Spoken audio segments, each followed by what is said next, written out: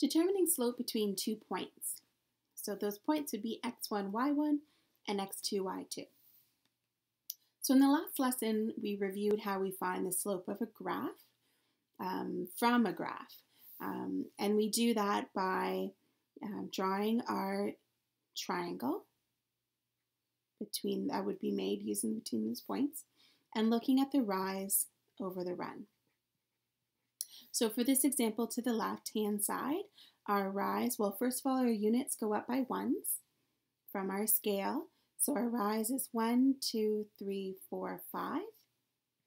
So the slope is 5 over 1, 2, 3. So that's our slope there. And we can keep that as 5 over 3. So we can keep it as an improper fraction. That's perfectly fine. So remember, rise over run. Now there's going to be times when we're not going to have graph paper with us um, or we don't want to have to sketch a graph. And so it's important that you understand how to find this the slope of two points. So how do we find the slope of a line given the coordinates of two points? So let's take a look at the points on this graph. So we've identified how we can um, figure out the coordinates of a point uh, earlier. So let's take a look at this first point here. So I'm going to call this point A and then second one point B. So the first point has a coordinate of positive 1 and negative 1. So I'm going to write that down here. And the second point, point B, has a coordinate of positive 4 and positive 4.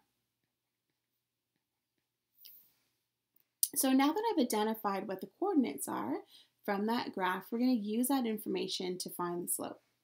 So I'm going to let my first point be x1, y1. And my second point be x2, y2. So I'm just identifying which is point 1 and which is point 2. If you wrote these in an, at the opposite direction, um, and you labeled them 4, 4 as x1, y1, and 1, negative 1 as y2, y1, or x2, y2, um, you would get the same slope regardless. Okay, so don't be too alarmed if you uh, mix the order up, up of your slopes, of your coordinates.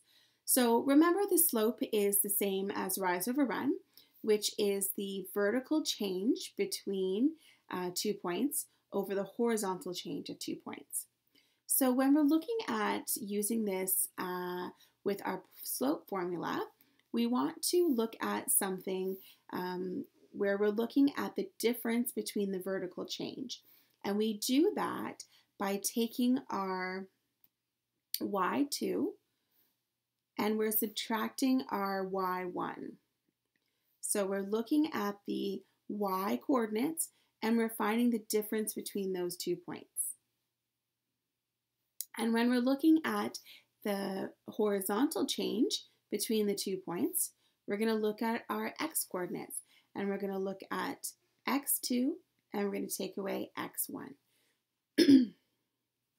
so if the slope is the same as rise over run, which we have up here, we can rewrite that as y2 minus y1 over x2 minus x1.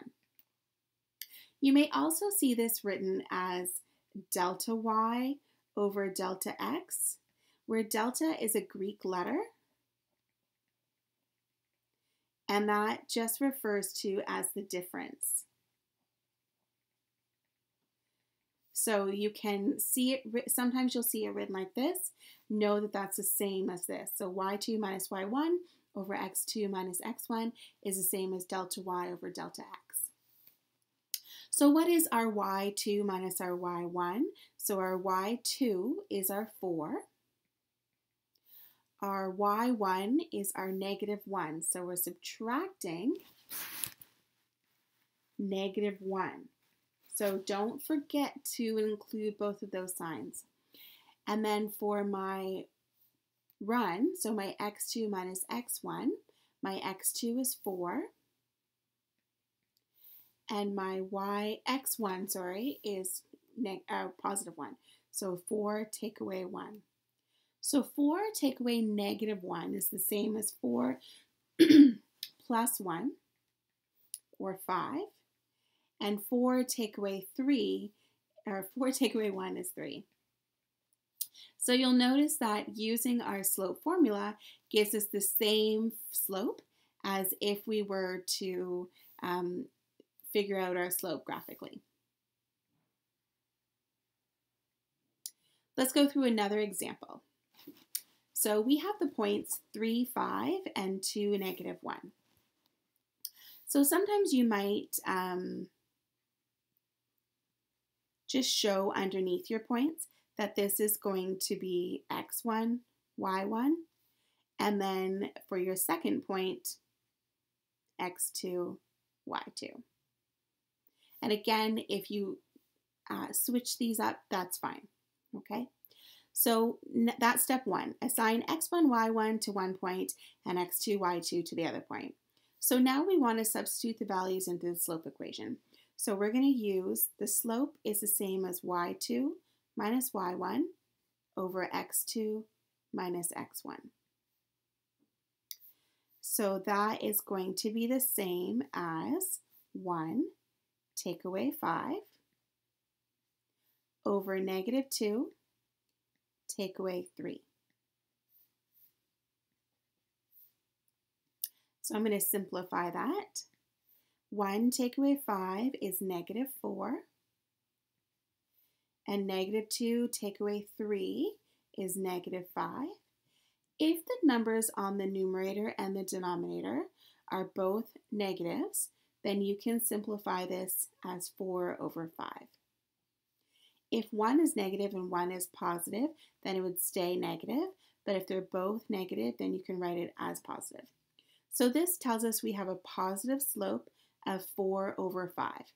So let's just verify that by plotting those points. So you don't always need to verify it, but um, it, it's if you have a graph available to you, it's helpful to do that.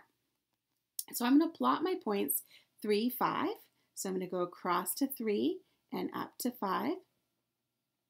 So this is point 1. And my point 2, I said, was negative 2 and 1. So I'm going to go across to negative 2 and up to positive 1. So this is point 2.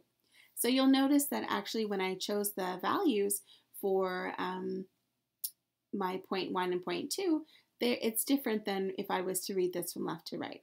And that's okay. Okay, so now I want to connect these points.